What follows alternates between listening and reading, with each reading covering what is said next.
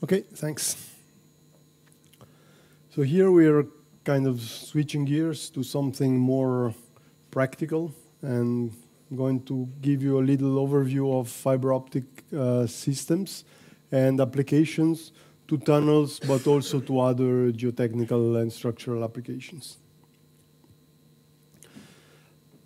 Um, why fiber optic sensors? There are so many technologies around to measure things. Uh, many of those technologies are um, well established and uh, and used for many years. So why fiber optic sensor have been introduced about 20 years ago? Uh, we will see some specific benefits later on, but in general, the common benefit of fiber optic sensor are in the small size, great variety of measured parameters, uh, distributed and multiplex topologies. As we will see, they can cover large areas uh, with uh, high density of measurement points. They're insensitive to external perturbation, for example, electromagnetic disturbance, lightning strikes, etc. They can operate uh, reliably uh, in demanding environment with corrosion, high and low temperatures, etc. They can measure over long distances, and they can interact or be compatible with data transmission uh, networks. There are almost mm, for any measured parameters that can be measured with conventional sensor, there are probably one or more fiber optic sensors. For our purpose, the main interest are in strain deformation, force, temperature, chemical acceleration, and rotations. These are the main parameters that are useful for uh, civil and geotechnical. the optical fibers that we use are very similar or identical to the ones that are used for data transmission. The idea is that the optical fiber is a glass wire that traps the light inside it. So when you put the light at one end, it will propagate into the fiber and it's getting reflected at the surface between the core and the cladding of the fiber, and so the light can propagate along the fiber itself. Uh, the fiber is pretty small, is typically about uh, one eighth of a millimeter in diameter. Then we add external protections to make it uh, easy to manipulate and install. Um, but that's basically the technology that we're using in all the sensing technologies that I will uh, um, detail in the next uh, uh, Uh, slides. I subdivide fiber optic sensor in four main categories. The first one is the point sensor category. In this case, it's very similar to a conventional sensor like a vibrating wire. We are measuring something at one location here, and then the optical fiber is just a wire. So it will bring the light from the instrument to the sensor. The sensor modifies the light, and then we send it back to the instrument but the fiber itself is only used as a way of transmitting the data. An example of that is the Fabry-Perot technology. A second category is the multiplexed or quasi-distributed sensor, for example, a fiber Bragg grating. These, again, we have discrete location where we are sensing, and the fiber connects those location um, back to the instrument. So also in this case, we are talking about point sensors, but now we can have multiple sensors along the length of the, uh, of the fiber. Then we have the long base sensors, such as the SOFO technology. In this case, the fiber itself becomes a sensor. So we're measuring, for example, elongation by measuring how the fiber gets longer and shorter. So it allows us to monitor, for example, a column. We can have a sensor from the top to the bottom and measure the whole change of length of the column itself. And finally, we have the distributed sensor uh, based on Brillouin and Raman scattering. And in this case, we can measure every meter along the fiber strain and temperature. So these are very useful to detect cracks, to detect leaks, to localize events rather than measuring something. So now I will give you a little more information about each one of these. And the presentation is very much oriented to applications. So I will maybe not explain in detail how it works from a physical point of view, but show you examples of how these different technologies are used in practice. So let's start with the point sensor or Fabry-Perot interferometer. Uh, these are sensors that are somehow a one-to-one -one replacement of conventional vibrating wire sensors. The measurement principle is based on a cavity. So we create a gap between two fibers that are close to each other, and then we send the light into the, uh, into the fiber itself, and some of the light will be reflected by the first uh, mirror, and part of the light will be reflected by the second mirror. And then we use an instrument to measure precisely the distance between these two, uh, these two faces of the fiber. So here you see a couple of examples of the instruments. And in, based on that principle, we can build different type of sensors. So for example, if we want to make a strain gauge, we attach those two fibers at those two locations. And now if I apply strain to my sensor, this gap will change, and then we can measure the strain because the distance between the fibers is changing. If I want to do a temperature sensor, I now use a fiber which has a different thermal expansion coefficient. So for example, when the temperature increases, this fiber will elongate and this gap will close. So in this way, I can transform a temperature change into a change in the gap. Then I can make a piezometer or pressure sensor. In this case, I have a membrane that deforms. So when I apply pressure, my fiber is coming here, and this distance will change in relation with the pressure change uh, on the outside.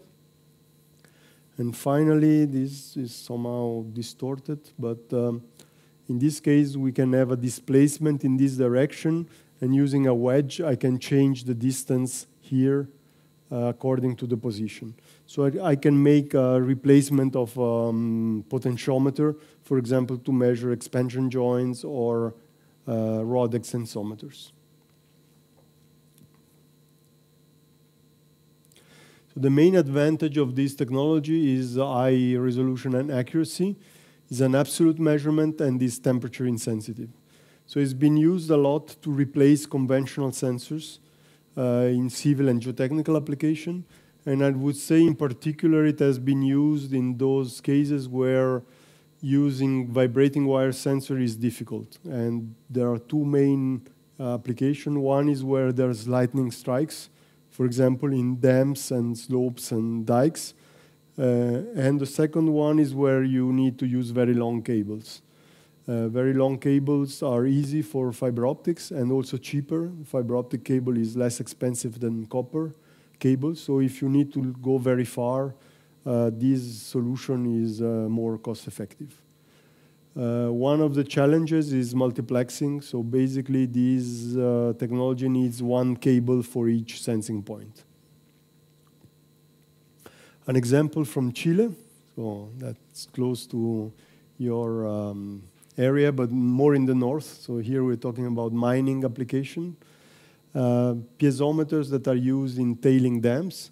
And this, in this case, the main reason was to um, have protection against lightning strikes. In similar projects, uh, the owner had lost a lot of piezometers due to lightning strikes, so they decided to go fiber optic. Um, here's a picture of the valley where the uh, tailing dam will be built and the, the, the dam itself will fill all this valley. And you can imagine if I have piezometers at the bottom of the dam, they must be connected to the top. So we're also talking about uh, very long uh, cables. Uh, and that's, again, uh, an interesting application for fiber optics. The piezometers themselves have nothing special about them. They're installed in the same way as a conventional vibrating wire sensor. And uh, the only difference is that they built these very strong cable ducts to allow the uh, cables to uh, remain undamaged even when the wall dam will be built on top of the, of the dam itself. Installation of the piezometer is identical to uh, installation of conventional piezometers, so nothing to say about this one. Here's an interesting picture. Um, showing the data acquisition system. What is also unique about these fiber optic piezometer is that they can be measured at very high speed.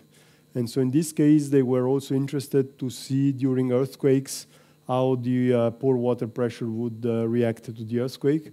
And so we have some of the sensors that are connected to this uh, high-speed data acquisition system. They are triggered by a strong motion uh, sensor. So when an earthquake uh, starts, we can acquire data at one kilohertz on the piezometer to see the waves of pressure going through the dam. So it was a kind of special application where there are some additional advantages of using fiber optic uh, piezometers. second technology that I'd like to discuss is fiber Bragg. Um, it's relatively similar to the previous one, but now we can have multiple sensors on the same optical fiber. The measurement principle is slightly different. Instead of having a gap between the two fibers, we now have a grating written into the core of the optical fiber. A grating is a kind of uh, periodic change in density. Uh, we write it using UV light. And this element is acting like an optical filter. So when I send light with different colors into the optical fiber, most of those colors will pass through the grating without being affected. But there's one very specific wavelength or color, in this case yellow, that is reflected back. And that's the wavelengths that correspond to the pitch of the grating itself. So now if I apply strain to my fiber, this pitch will change, and therefore also the reflected wavelengths will change. So in this way, we can correlate the reflected wavelengths to the strain or the temperature uh, of the grating itself. And now the beauty of this is that I can put gratings with different wavelengths or different pitches along the fiber in general, you can think between 10 and 20 sensors, and they can each one will reflect a different wavelengths, and therefore the interrogator can address each uh, sensor individually. It's a little bit like a radio, so each station is transmitting on a different frequency, and so by tuning to one station or the other, I can measure the sensor independently. Of course, I can also have multiple lines. So in this case, I have uh, instrument with four channels. On each channel, I can have 20 sensors. So in total, I could have 80 sensors installed on this uh, particular, in this particular case. A couple of examples of sensors for temperature and strain and readout units uh, for permanent installation, for example. They're very similar to a data logger that you might use for uh, electrical uh, sensors, but in this case, we are taking optical signals. The advantage of this technology is the inline multiplexing, and this can reduce the length of cable. Imagine if you have 10 sensors or 10 temperature sensor or 10 strain sensor along a line, instead of having a cable from the readout to the first sensor, from the readout to the second, from the readout to the third, you just have one cable going from one to the other. So it becomes like a bus, uh, an optical bus, where you have several sensors. It's also been used a lot for embedding in composite materials. So if you use composite to reinforce structures, this sensor is very small and can be embedded in the composite itself. Um, it's been used a lot in difficult environment, including oil and gas uh, industry there are two drawbacks of this technology. One is that the sensor is sensitive to both strain and temperature. So if you are measuring in uh, an application where the temperature changes, uh, you typically need to install a temperature sensor close to the strain sensor to um, compensate the temperature effect on the uh, strain sensor. And also the uh, readout unit needs to measure wavelengths very accurately. So for long-term stable measurement, the readout unit uh, needs to be uh, built properly so that you can ensure the long-term uh, stability of these measurements.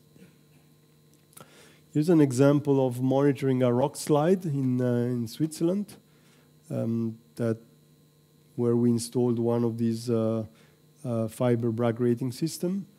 In this case, we had a borehole into the ground and we were measuring the deformation at different depths. So it's somehow similar to a multi-point extensometer, except that now we can measure at any depth. So it's not relative to the surface, but we can measure, for example, from here to here, from here to here. Here is also redundant, so we have two chains of sensor in the same borehole, so that if something happens to one sensor, the other can take over. And then there are some other sensors that are surface attached and measure crack movement on, on the surface. So here we are, we're replacing, let's say, uh, vibrating wire joint meters with these uh, long gauge fiber optic sensors. Again, the advantage here is that we were in a high mountain, so problem with lightning strike, etc., pointed to the use of this uh, technology. Couple of example here, you see the sensor bridging the crack, so it's attached here and here. Uh, these are just covers that are used to protect it. And uh, here is the borehole being drilled into the ground. And this is the um, measurement system. Uh, it's not only for the fiber optic sensor, so that's why the solar panel is relatively large. Also, this uh, is located at very high altitude, so in the winter the snow will come to about this height, so that's why they needed this long pole to keep the um, solar panel above the snow level. Uh, we were talking about Canadian bridges, so here's another example of um, a bridge in Montreal that doesn't look very, very, very safe or in very good condition is the infamous Turcot interchange that is being replaced. It's very important uh, interchange between two uh, highways in uh, close to Montreal. Um, to give you an idea of how severe the condition of the bridge is, these nets here are installed to catch pieces of concrete falling off the bridge and trying to avoid it falling on the cars below the, the bridge itself. Uh, here you can see a number of sensors measuring cracks, horizontal and vertical, measuring movement between uh, uh, different sections, other shorter sensors over this crack here. Uh, so in this very uh, small location, we have a number of sensors, and as you can see, they are interconnected. So the the fiber goes from this one to this one, then this sensor, then this one, then the other one. So you can interconnect a number of sensors and then have just one cable going to the readout unit. In this case, uh, they were also interested in dynamic monitoring. So where you have trucks uh, going across the bridge, they wanted to see how the crack were opening and closing with the traffic uh, effects. In this case, you have a chain of sensor and you can have deformation sensor, then a temperature sensor, then another deformation, another temperature, and so on. So it's possible to combine several type of measurements in the same line.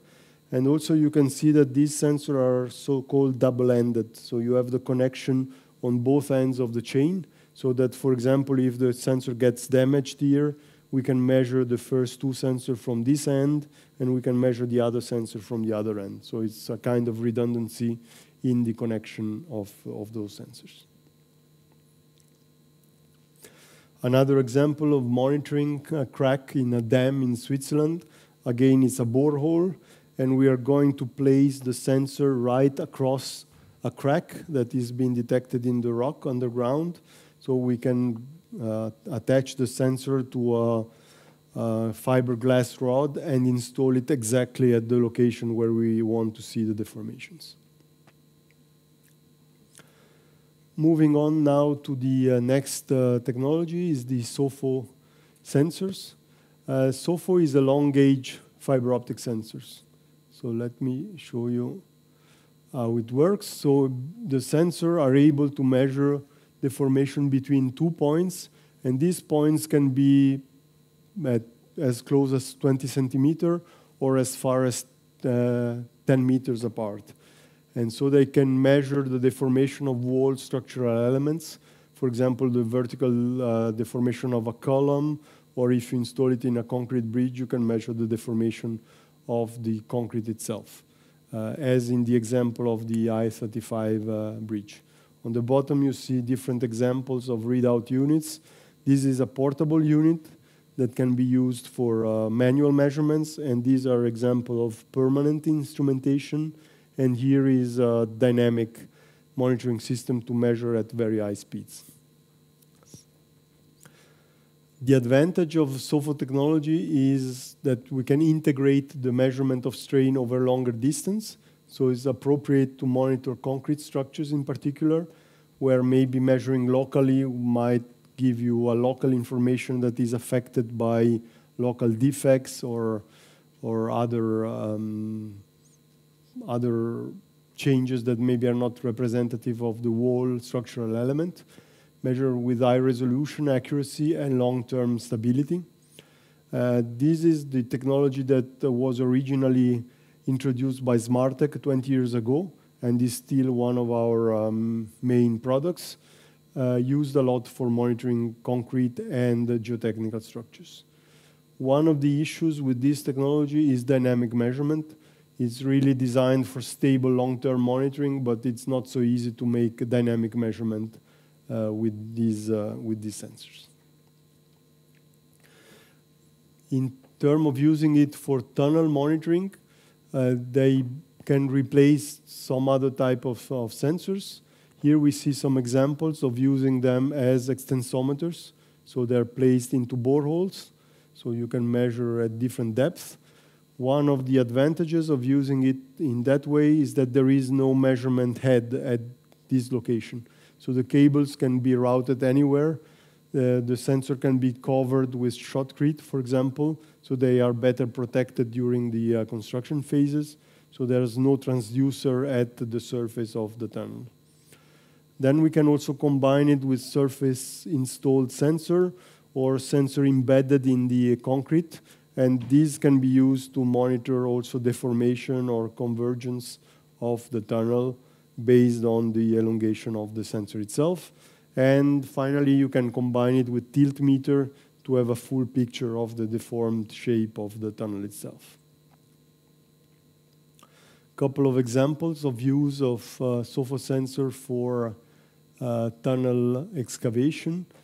Uh, here is a um, tunnel project in Switzerland for a dam where they excavated first this area, then this one, then this one, and finally number four. And so the sensors were installed immediately after digging each zone and then protected with shotcrete so that even if they were blasting zone number three pretty close to the sensor, uh, it was still possible to measure those, those sensors. Uh, installation was relatively easy. So make a borehole, insert the sensor, inject with grout, and then all the cables, for example, here the cables were routed along the tunnel and then covered with shotcrete. So there is nothing showing and it's uh, automatically protected from the blasting of the next uh, section of tunnel. So here are a couple of examples of how the deformation was captured. So we've seen in particular a large deformation in this area, very little on the other side, so there's probably some uh, geological formation that makes the tunnel uh, kind of rotate instead of just converging in, in one direction. Examples of installing sensor into elements of prefabricated concrete. Typically, we install pairs of sensor, one at the intrados and the other at the extrados of the, uh, of the concrete so that we can measure uh, curvature and then reconstruct uh, the deformation of the, uh, of the tunnel. Here's a project in Spain. Uh, it's also a um, tunnel for a um, hydro, hydropower dam. And there's a picture here that shows the sensor being installed. Uh, it's between the formwork and the uh, rock, and then it will be embedded in concrete. And one of the interests of this um, fiber optic sensor is that it doesn't need to be straight. So it can be installed also on a curved line. So in this example, for example, the sensor is measuring from here to here So it measures the uh, integral deformation along that uh, deformed shape. So in this case, of course, you need to attach it at some intermediate point or embedded in concrete. So it can measure the, uh, the total deformed shape of the, of the concrete. That's another project in Belgium. Uh, here we chose a slightly different uh, installation. So with SOFO sensors, you have two options. Either you measure from one location to different depth, or you can have one sensor from here to here, a second one from here to here, and a third sensor from here to here. So there are advantages and drawbacks in each, uh, in each case. This is more redundant because uh, failure of one sensor doesn't affect the others, but at the same time is less accurate because you're covering longer, longer lengths. And we're also combining surface-mounted sensor in the, uh, in the concrete um, vault. A similar application for uh, waste, nuclear waste disposal site in Switzerland. Again, sensor installed uh, in different directions, so it's possible to install them up upwards or downwards. And here you can see the sensor being prepared for installation. So we create a kind of um, bundle of the different sensors. So you have a sensor from here to here, another from here to here, and so on. Then they're installed in the borehole, injected, and then they, they can measure. You're probably familiar with the uh, new Alp Transit Tunnel in Switzerland. It's been opened uh, for a few months now and is the world's longest tunnel with 57 kilometers. Uh, I've been through the tunnel a couple of times already during some test uh, runs, and it's quite impressive how much time it's saved from Lugano, wh where I live. It's about here, and going to Zurich now takes about 40 minutes less than it used to only a few months ago. And uh, a few years back, we were uh, involved in the project by instrumenting the portal area, so measuring the deformation of the concrete in the portal area and measuring deformation also in the shotcrete inside or at the beginning of the tunnel itself and in some other locations uh, uh, later on. So here you see a picture of uh, the, the portal area the uh, tunnel is entering uh, is, uh, in a way that is not perpendicular to the, to the slope, but rather at an angle. So they had to create these buttresses to hold back the, uh, the mountain, and so the, the tunnel would come in on this side. So you see the location where the sensor were installed. Here is during the installation. The sensor are attached to the rebar cage, and then they become embedded into the concrete couple of other pictures of that installation, a junction box where cables are connected. And here you can see the, um, uh, the recordings of the, uh, of the measurement. You have the initial phase of thermal expansion of concrete, cool down, shrinkage. These uh, oscillations are the daily temperature cycles. And then you can see that it stabilizes uh, after a few, uh, a few days. Some other sensors were installed inside the, the, um, the, tunnel to measure the deformation due to the rock uh, pressure. And in this case, the sensors were embedded in shotcrete, so they can be installed on the rebars, and then they get covered with the shotcrete. In this case, they combined manual and automatic readings. This was about 12 years ago. Uh, so we had an initial reading, then some continuous measurement, and then some manual readings taken later on. Now with the uh, reduction of cost for the readout unit, I think in a case like this one, we would have installed a permanent uh, automatic monitoring system. A cut and cover tunnel example. Here is, uh, was an early example of use of high performance concrete in Switzerland. And so this was a kind of monitoring slash research project. In this particular tunnel, they built half of the length with conventional concrete and the other half with high performance concrete. So they wanted to compare those two sections, and they installed a number of sensors at different locations across the uh, cross section of the tunnel to monitor the uh, short-term and long-term behavior of this uh, of this uh, tunnel. Here you see some examples of detecting cracks forming in concrete. Again, you see the thermal expansion phase, then shortening, and when you see those jumps, they're typically cracks.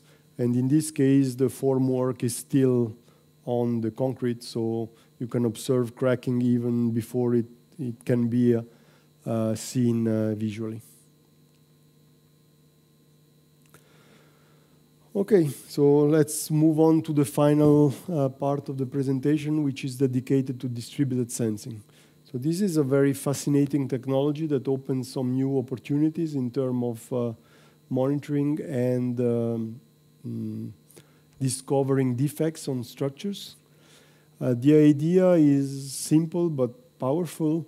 You can have one instrument located at one location, for example here, and then you can have a very long cable installed, for example, in this dike.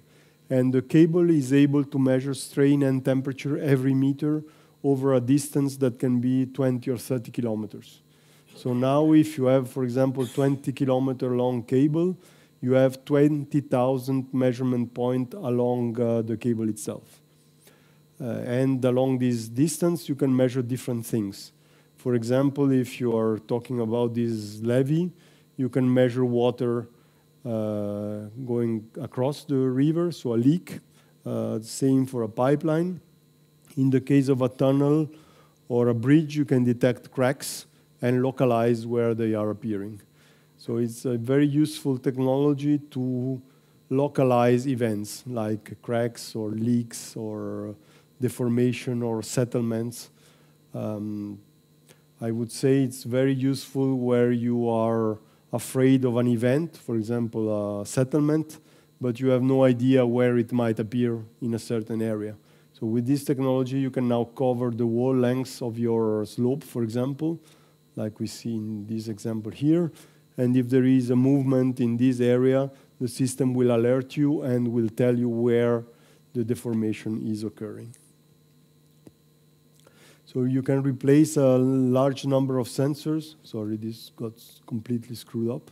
But the idea is to replace a number of point sensor with one single line of cable that can give you a picture, an overall picture of the, uh, the temperature distribution or strain distribution in your, in your structure.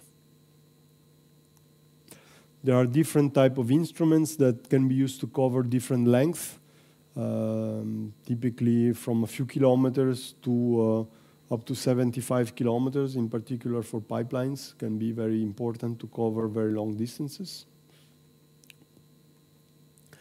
The measurement principle is relatively simple. Uh, when you send a light down an optical fiber at a given wavelength or color, most of the light will simply travel through the fiber. That's what they're famous for, transmitting light but there's always uh, at every location along the fiber a very small amount of light that gets scattered or interacts with the glass and gets diffused. And part of that light comes back uh, towards the source of the light itself. And when you analyze the, the light that is coming back, you find that the original wavelength, lambda zero, but you also find some new components that were not present in the original optical signal. They are called the Brillouin and the Raman uh, component. And they contain information about the temperature and the strain at this location where the scattering occurred. In particular, the Raman scattering is related to the movement of atoms in the glass of the fiber. So if the temperature increases in the, uh, in the fiber, the signal of the Raman increases. So there's more interaction between the light and the movements. And the Brillouin scattering is related more to the distance between the atoms. So if you pull the fiber, uh, the Brillouin will move. So that's how we do a, a strain, uh, a strain reading. To localize the events, we use a pulsed uh, technique. So we send a pulse of light into the fiber, And then we record the time of the scattering, of the backscattering.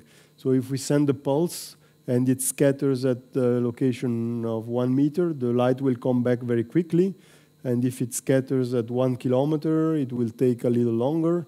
And if it scatters at 20 kilometers, it will take even longer. So by measuring the time, we know the location of our measurement. And by measuring the Brillouin uh, frequency or the Raman intensity, we can tell strain and temperature. And now if we combine these two information, we can tell, for example, that at this location the temperature has increased because of a fire, for example, or that strain is increased at this location due to a crack, or temperature has decreased here due to a gas uh, leak, for example. So we can have a temperature and strain distribution along a very long uh, optical fiber. Here an example of instruments. They can measure with good accuracy uh, in the order of 20 microstrain and one degree. It takes a few minutes to take a reading, and then you have the full uh, distribution of strain along the, uh, along the, uh, the fiber. I have here a couple of examples of cables that I will pass around. Uh, the top ones are strain sensors.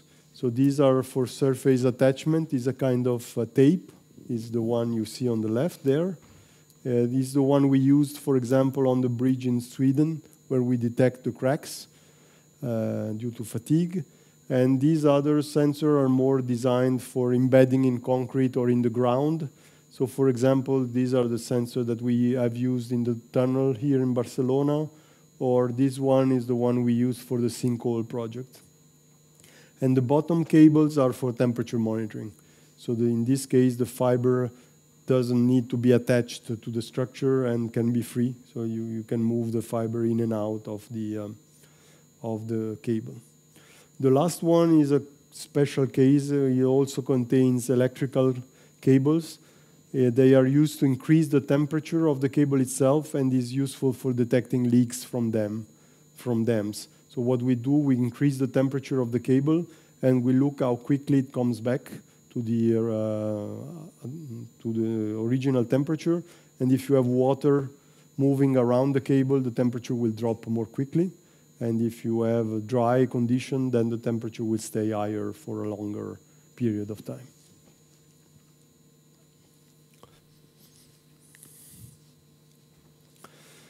We also developed a graphical user interface to display the data from this type of instrument. As you can imagine, we need something a little special to display the data because we have so much data to show.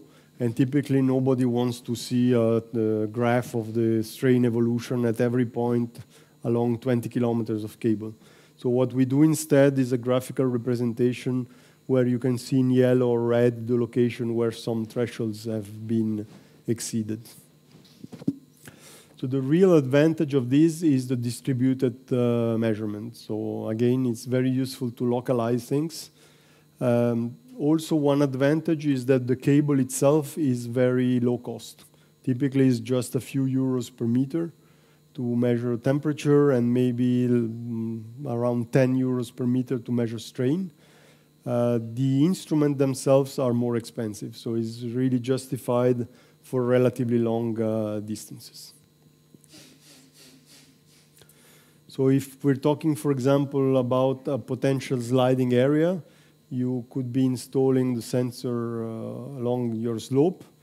Maybe that's exaggerated. In reality, you would have only a couple of back and forth.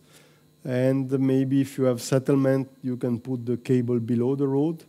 And now if you have a movement in your slope, the cable will get longer. And by measuring the strain, we can detect and localize where the movement is occurring. And in the case of a settlement uh, below the road surface, for example, it's the same. The cable will get longer and we can localize this, uh, this event, like we did, for example, for the sinkhole uh, project. In case of tunnels, the sensors can be installed essentially in three ways. First one is longitudinal, like we did in the tunnel here in Barcelona. So the sensor are installed along the tunnel, maybe in different position on the vault. so that if there is settlement or movement or crack, it will be detected by one of the lines. Second type of installation is around the tunnel vault, like this. And the third one is in boreholes going inside the, the, uh, the soil or rock. And then you can interconnect all these cables together to form a network, and it can be read from one readout unit that is placed, for example, at the entrance of the tunnel. Here's an example of monitoring a penstock for a dam in Switzerland. We have installed the uh, red cable that is going around uh, inside the tunnel, and this tunnel is filled with water. So that's the tunnel that brings the water from the dam to the power plant. And uh, the sensor was glued to the surface and then protected with some uh, sealing material. And now water is running into the pipe, and we're measuring strain to detect cracks in the rock that might induce strain in the uh, in the steel uh, liner of this uh, of this tunnel. In this case, we have instrumented about 120 meters of tunnel with four lines. And so basically, we have about 500 meter of sensing uh, cable installed. So it corresponds to having 500 strain gauges installed. But of course, it's much easier to install this cable than 500 strain gauges, each one with his own cable, etc. Uh, again, the project here in Barcelona, you can see there's these columns uh, that are close to the wall, and the sensor is going uh, from the uh, wall to the column, back to the uh, wall, etc. So if there is any movement of these columns, it will stretch the cable here, and we get an alert.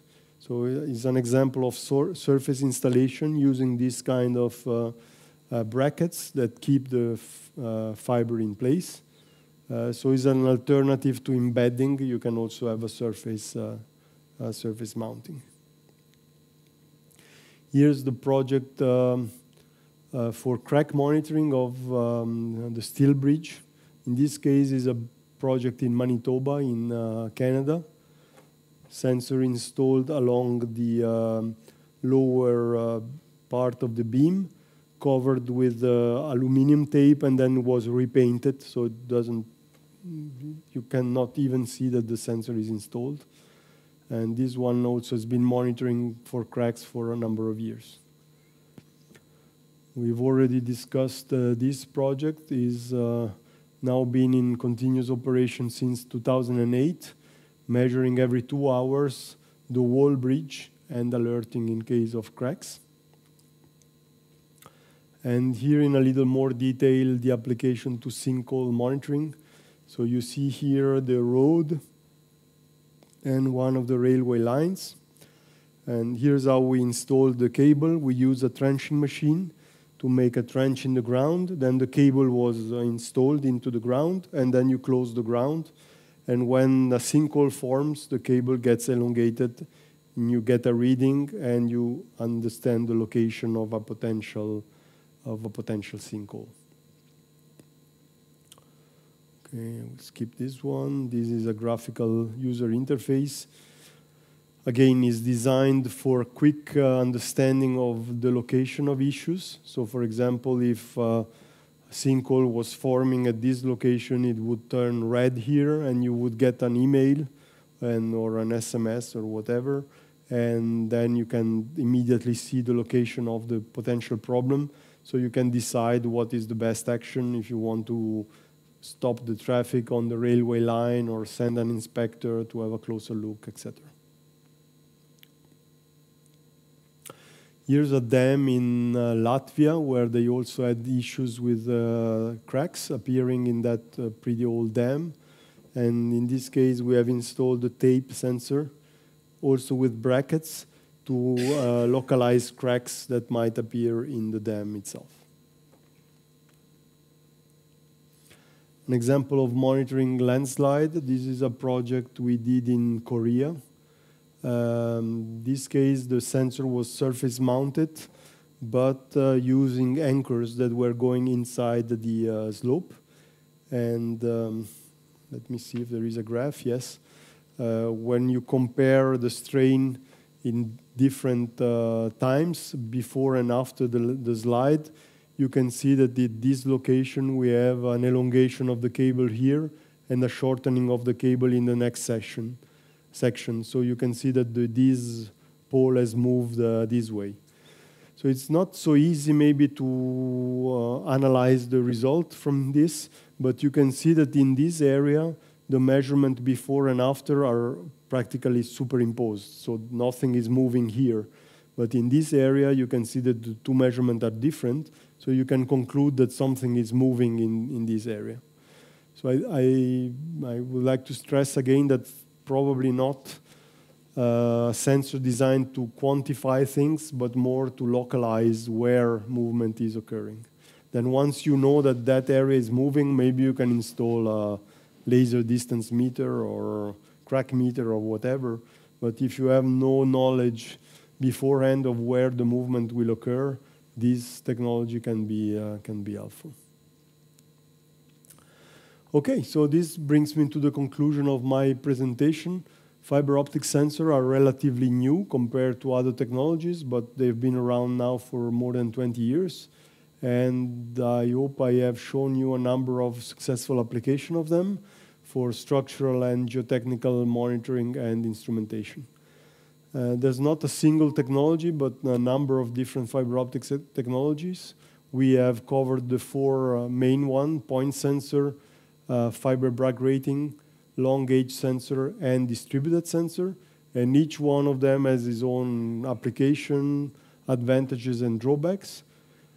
Uh, some unique features of fiber optic sensing, uh, including distributed sensing, open new application possibilities that were not possible with conventional technology. And typically, we use fiber optic sensor in cases where conventional sensor have some limitation in terms of reliability in difficult environment, long-term stability, compatibility with lightning strikes, etc. And sometimes uh, fiber optic can also have low, lower system cost in particular where we're talking about large number of sensors or very long cables. Our company uh, is selling both traditional vibrating wire sensor, for example, and fiber optic. So I'm not here to tell you that fiber optic is the solution to all problems. In many cases where a traditional sensor like this vibrating wire piezometer works, there's no reason to switch to fiber optic. But in cases where there are some limitations, in the use of conventional technologies or where you need the advantages of distributed sensing, then going fiber optics can be a good, uh, a good solution. Uh, if you're interested in going a little deeper, we have written with my colleague Branko Glišić uh, a book about fiber optic method for structural monitoring. Uh, you can buy the book, and if you ask me, I can give you it on a USB stick, although the publisher might not be super happy about that solution. But if you're interested, come to me, and um, uh, we will find a way to let you have a, a copy of the book. Thank you very much, and um, if you have any questions. Um, okay, thank you. Oh, I'm almost on time. Questions? Eh, felicitaciones por tan excelente presentación. Eh, mi inquietud es respecto a los rangos de valores que se pueden obtener con la fibra óptica respecto a otros dispositivos. Por ejemplo, en desplazamientos. Eh, en algunos dispositivos se, pierde, se pierden los valores cuando, cuando, el, cuando el desplazamiento es muy grande y este se rompe. Entonces, eh, con la fibra óptica obtenemos, obtenemos, otras ventajas, o sea, hay un mayor rango de valores, o, o cómo estamos allí. Okay. So the fiber itself can measure about 2% elongation before breaking. So over one meter, you can measure about two centimeters elongation. But there are ways around that, and I skipped uh, one slide here. In this case of the sinkhole monitoring, we designed the cable in a way that it will move into the ground. Uh, so what happens is when you start pulling your fiber, initially you get strain over a short uh, length of fiber, but if you pull even more, the strain gets distributed over a longer length, as you can see here. So we program the cable to uh, somehow redistribute the strain instead of breaking. So in this case, we're not measuring the strain accurately, but we can save the cable even if there is a very large deformation. So there is a compromise between the accuracy. So if you want something very accurate, maybe you will use the tape sensor or the, uh, the red sensor that is attached, but that can measure only 2%. If you want to measure larger deformation or survive larger deformation, then you can use something like this. So you need a compromise between surviving and accuracy.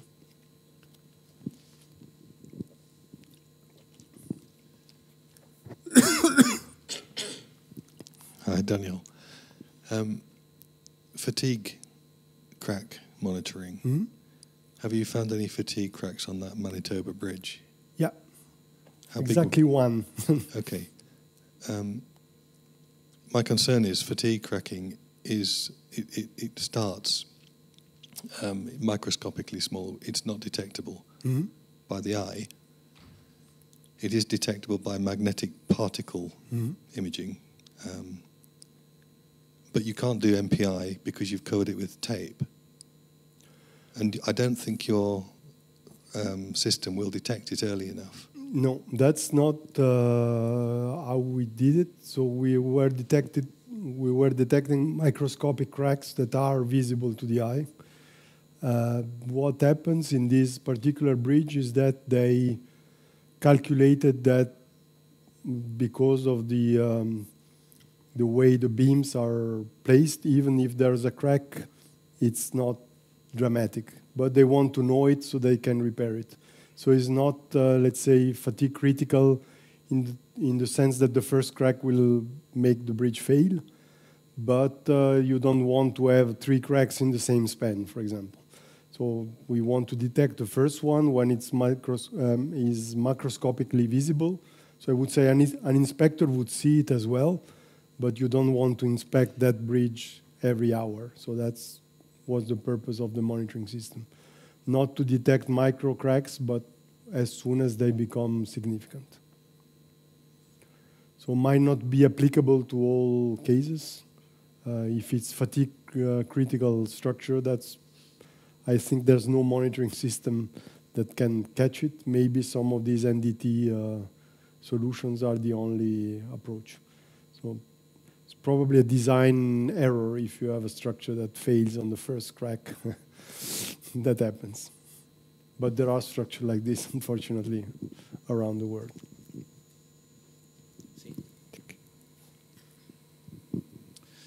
In Italian, I get Italiano? in Italian. Yes. Beh, mi associo anch'io ai complimenti per entrambe le esposizioni. Volevo chiedere eh, le modalità di applicazione di questi sensori sulle strutture esistenti, Mm-hmm. eh, sia calcestruzzo che acciaio, se ci sono, che prodotti si usano, se sono incollate, sono fissate, Mm-hmm. perché alcuni sensori poi lavorano in, man- eh, in maniera distribuita, Mm-hmm. quindi devono essere fissati in maniera continua, penso, eh, perché no, non Ok. sono specializzato, ecco, era capire se un punto può essere una criticità le modalità, modalità di fissaggio e se serve personale specializzato per l'installazione. Okay, so the question is how you install sensors on existing structures, in particular the distributed sensors. Uh, there are two or three main ways to install sensors on the surface. Uh, first one is to glue it on the surface. It must be glued along the wall length so that it can measure both compression and elongation. Uh, that's one solution. Second one is with uh, discrete uh, attachment points, like we've seen in some of the application with these L brackets. In this case, we pre-tension the cable before attaching it so that it can measure also compression. And another technique that is very useful uh, in concrete, for example, is to make a groove. So we cut a groove with um, how do you call a saw and put the sensor in and cover it with mortar So the sensor is embedded uh, slightly below the, the surface.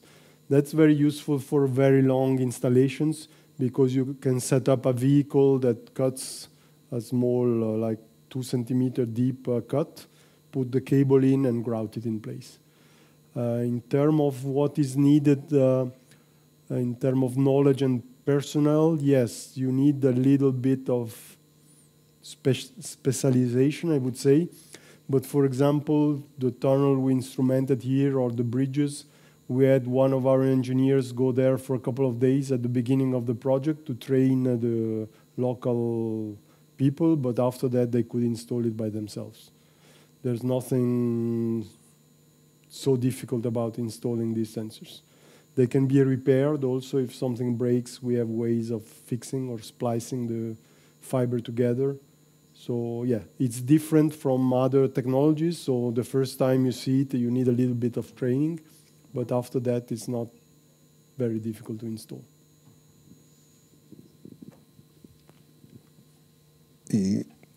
Eh, a ver, bueno, una serie de preguntas, pero vamos a irnos a, a dos.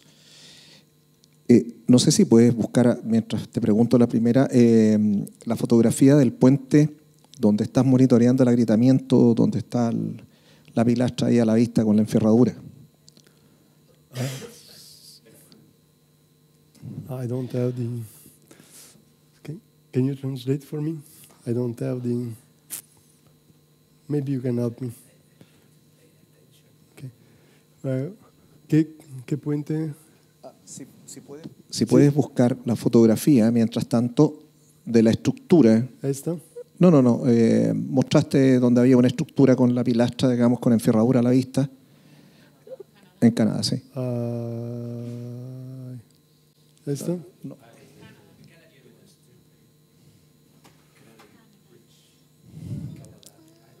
Oh, yes, the Turco, yes. Okay. Ah, por favor, aprovechemos la, la otra respecto a los taludes que pasaste. Ajá. Okay. Sí, eh, lo que mostraste que es bastante gráfico y bastante bueno, pero cuando tú tienes un talud que está semi revestido, ¿cierto?, por mallas de sostenimiento y perno, tú tienes que colocar la fibra óptica por debajo o la puedes colocar encima, salvando esta situación. Y lo otro es que eh, me imagino yo que la fibra óptica copia el manto, que no es parejo, ¿verdad? La fibra óptica, pero no la puedes quebrar. ¿Cómo You- es you eso, can- digamos? Yeah.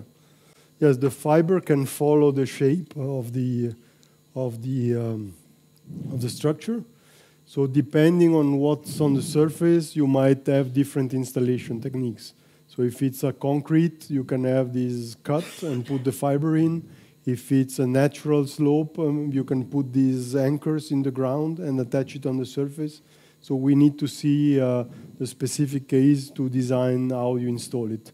Or maybe for this one, you can cut a groove with the trenching machine and put the cable in. So there's no single answer to that. But yes, the cable needs to be uh, attached somehow to the slope so that it can sense the deformations. So there is some installation required and might be difficult in some cases. But once it's installed, then you have uh, a very easy way to detect movements and localize them. So, and you had a question about the other the bridge. Sí. Let's see if I can find it. Uh, we're getting close. Very close. Very, very close. Here, this one. Sí, lo que pasa que mientras hacía la exposición, mi colega aquí me decía, ese es un puente nuestro, porque tenemos una condición como esa. I'm sorry for you. La verdad es que en esta exposición estamos al desnudo, así que no ha sido bueno. Pero, a ver, aquí tú haces monitoreo de agrietamiento, ¿correcto? the deformation, opening of cracks. Deformación Sí, del- deformación. de la grieta, ¿verdad? Sí. Sí, pero es que aquí se da un fenómeno, aquí hay dos tipos de agrietamiento, ¿cierto? Uno es el agrietamiento superficial, Mhm. Producto, digamos, de, de- de lo- del, del espesor, digamos, del recubrimiento. ¿verdad? Y luego tienes un agrietamiento estructural, que es la grieta que te importa, porque el agrietamiento superficial que veo ahí, ¿cierto? Porque nos pasó, es un agrietamiento, claro, es serio, grave, digamos, pero me afecta ahí la enferradura. Pero la que sí me importaría seguir con este sistema es la grieta estructural, digamos. Entonces, aquí, ¿cómo eh, defines, digamos, la, that's a very good question about the difference between surface and structural deformation. Uh, maybe it's not very clear, but the sensors are installed with uh, brackets, so it's mechanical components, and they are drilled deep into the concrete. So we try to attach to the inside and not only measure the surface movement. Uh, but of course, if the concrete is very massive, maybe inside the deformation might be different. In that case, we might have sensor on both sides and maybe do some uh, interpolation between the two. But it's not glued on the surface, it's drilled inside the, the concrete.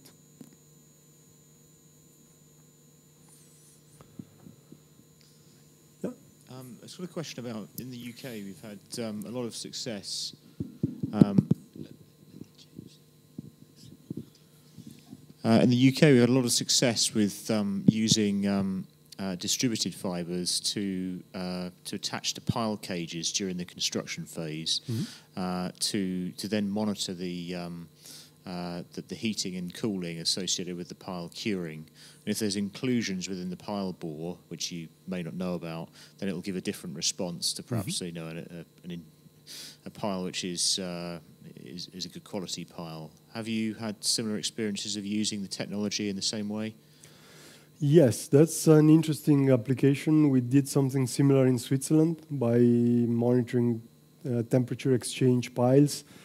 There's also a company that is using our temperature sensor to monitor the quality of uh, um, uh, jet jet grouting piles. How do you call it? These, the, these rotating jet, because they can have different diameters, and so by measuring the temperature distribution, they can tell how large is the, uh, and they can also verify that it's really rotating regularly and eating the cable uh, every couple of seconds. So yes, there are many possible applications. Like any new technology, you sometimes find good application and potential application that turn out to be a dead end.